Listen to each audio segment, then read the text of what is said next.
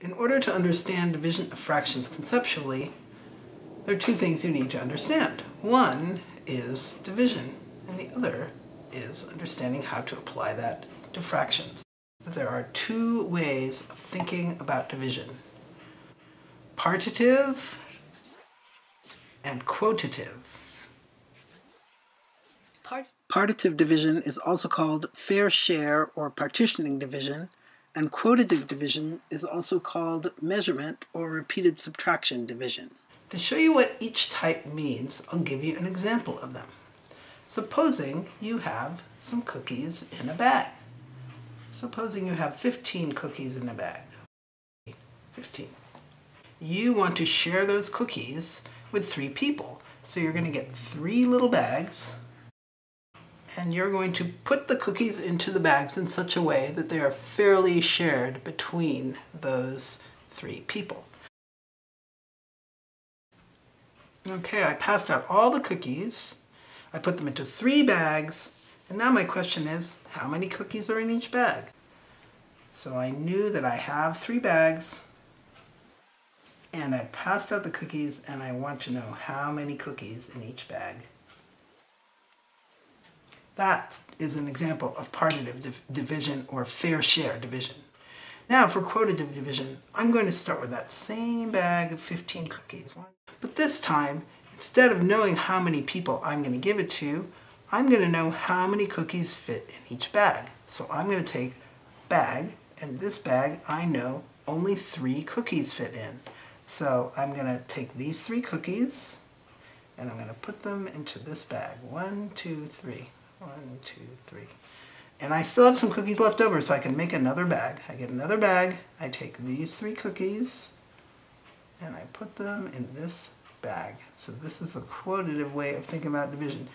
Parceling out the cookies one bag at a time. And now I've passed out all the cookies.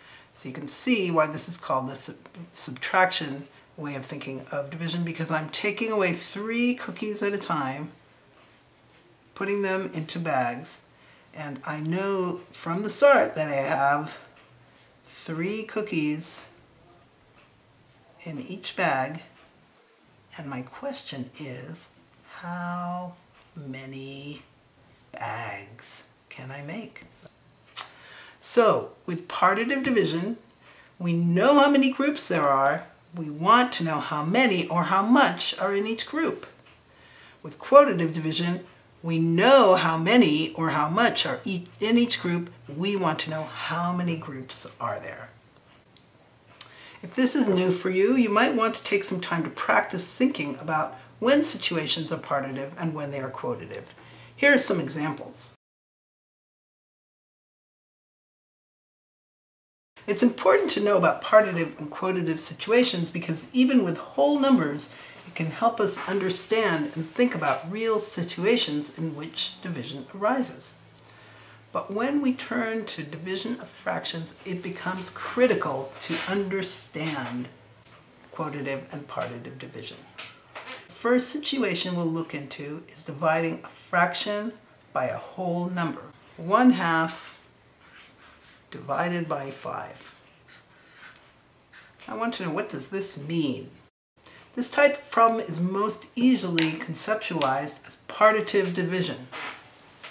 Here's an example in which it might arise. In a relay race, students are going to run one half of a mile. Each team has five students on it. How many miles will each student run? This problem lends itself to solving using a number line because we're dividing distance students are running a half a mile, so I'm going to make this my 0, and this my 1, and this my 1 half. And then I'm going to think about dividing this half. This is the distance they ran, even though they might have run it around a track. I'm representing it as a straight line here. And I need to divide that into five equal parts. What is each of these parts? I can see when I continue to partition the whole that there are 10 of these, and so each of these is one-tenth of a mile. I can see using this number line that each student will run one tenth of a mile. So one half divided by five equals one tenth. You could also solve this problem with a fraction kit or another fraction manipulative, such as fraction circles or bars. Let's look at a different fraction problem. 5 divided by 1 half. This problem is quite challenging to conceptualize as partitive division. Here's a situation in which this might arise. I have 5 cups of flour, and I'm using a recipe that calls for half a cup of flour.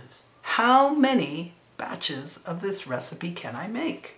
I think this is a cup, and if I chop it in half, then I have a half a cup here, and another half cup here, and I can do that with this cup as well, and this cup as well.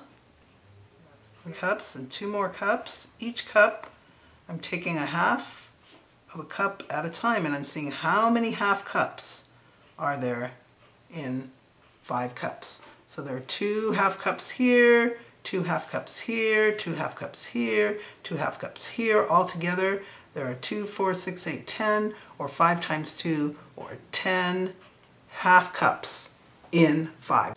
This problem can also be solved on a number line.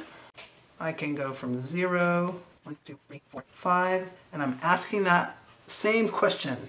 How many halves in five? Well, I can divide each length, whole length into halves. Nine halves and ten halves. So how many halves in five? Ten. There are ten halves in five. This problem could also be solved using a fraction kit or fraction bars, counting the number of halves in 1, 2, 3, 4, and then 5, and that can be related to the number line. Or it could be solved using fraction circles, again counting the number of halves in 1, 2, 3, 4, and 5. In this video we've seen that different types of fraction division problems lend themselves to different ways of thinking of division. The partitive way of thinking of division is useful when we're dividing fractions by whole numbers. And the quotitive way of thinking of division is useful when we're dividing whole numbers by fractions. I'm going to give you some fraction problems now for you to try in order to flex your new partitive quotitive muscles. I'm also going to suggest a couple of resources that you can use to help you review and solidify the ideas presented in this video.